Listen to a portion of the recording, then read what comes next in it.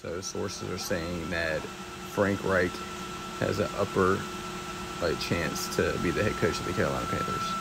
So what do you guys think about that?